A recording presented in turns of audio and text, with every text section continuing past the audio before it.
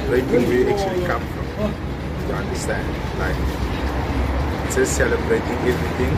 Like, doing the colors, doing the facial, all of that. Like, my name, my name should be Pio Good, actually. Because that's what I would have liked. Okay, um, so to me, Heritage Day means being close with your family, with your friends, and just acknowledging where you come from and your roots, your backgrounds, story, the history about your life, and just being together as one. Which means to hang with the chums, having good times with the mates, supporting local music, local spots. Uh, Heritage means like like your ancestors and stuff, where they come from, what they suffered, and things like that.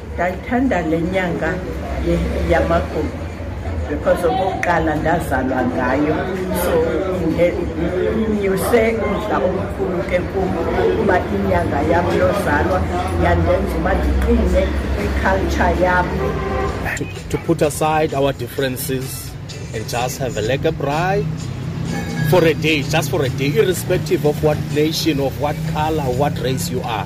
Just join together and celebrate. the culture itself, tradition. So that's what it means to me, and I so wish that we could celebrate heritage every day because it's who we are. So you can't celebrate who you actually are on one day.